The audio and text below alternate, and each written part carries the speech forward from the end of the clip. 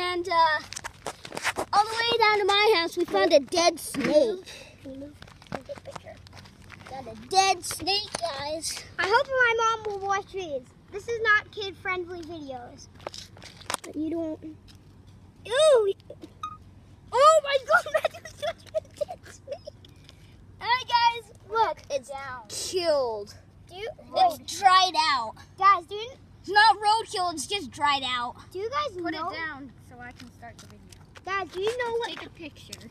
Do you guys know what kind of snake that is? This is definitely a garden snake because there's a garden right here.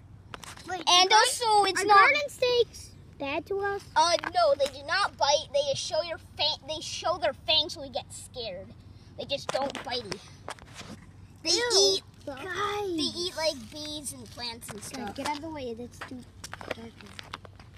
There's a dead snake here. This is crazy. I have to show. We. I can record this one because this one's not bloody. Yeah, the other one was destroyed. The bird. Karen's kid friendly. I'm a kid-friendly channel. I only show things. How does it feel? It's dried out. Doesn't feel like anything. I feel cracking. There's something in its mouth. Grass. Grass. A piece of grass. Food. That's what some stuff does. Ew. It's get you. No, no, no. Ice Sparrow touched it.